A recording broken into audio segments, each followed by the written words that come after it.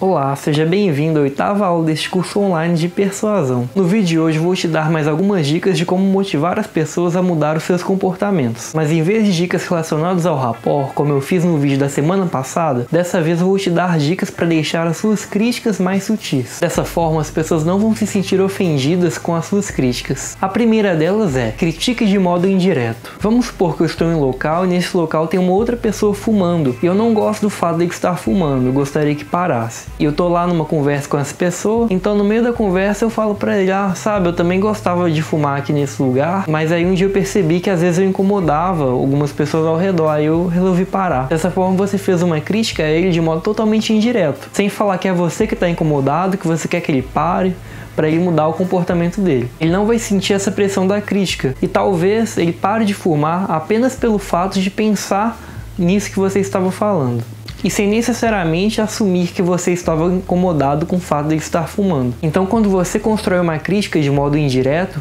você não ofende a outra pessoa. Ela pode até mesmo ficar na dúvida se é uma crítica a ela ou se você está apenas contando uma história, relatando algum caso.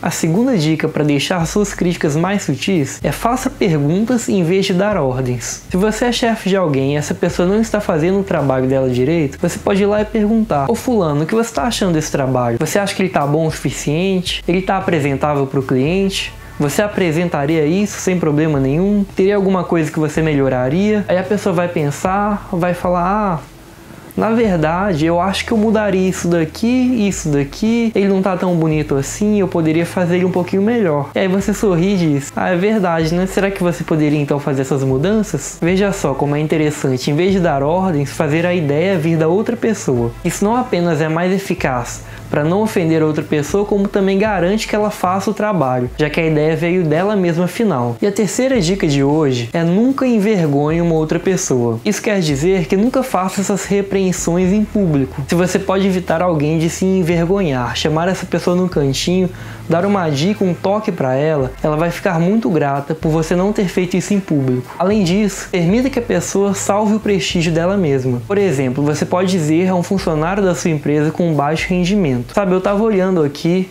nesses gráficos logo quando você foi contratado, como você conseguia realmente ter uma produção muito alta, né? Hoje em dia eu percebo que ela tá um pouco mais baixa, mas era tão boa naquela época, né? Eu acho que você é realmente uma pessoa esforçada, né? Dessa forma você cria um estigma positivo para essa pessoa. Não cria um estigma negativo.